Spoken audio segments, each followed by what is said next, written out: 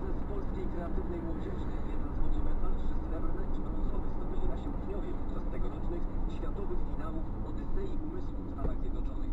Mistrzostwo Świata wywalczyła drużyna ze szkoły podstawowej w Pogórzu